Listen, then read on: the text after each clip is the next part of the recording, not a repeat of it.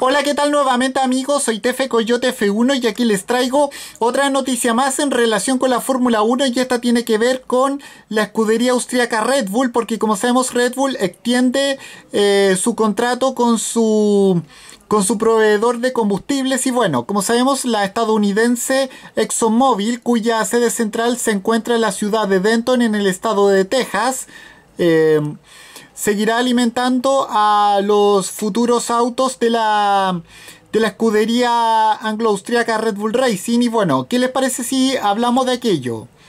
Bueno, para, para triunfar en la Fórmula 1 no solo hace falta un buen auto y un buen motor, hay muchas otras cosas detrás que también son un factor clave a la hora de conseguir un éxito. Uno de ellos son los combustibles y lubricantes que ofrece eh, ExxonMobil a Red Bull, eh, bueno, a través de su marca Mobile One, a través de sus marcas Mobile One y eso.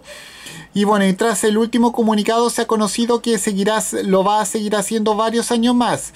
Bueno, eh, el equipo austriaco eh, de las bebidas energizantes ha anunciado una extensión de varios años con su actual proveedor de combustibles, tecnología y lubricantes, la como sabemos, la ya mencionada ExxonMobil, el principal objetivo será desarrollar los lubricantes de próxima generación necesarios para mejorar el rendimiento tanto de el propulsor como de la caja de transmisiones. Y bueno, eh, con esto me despido, adiós, que me fuera, chao.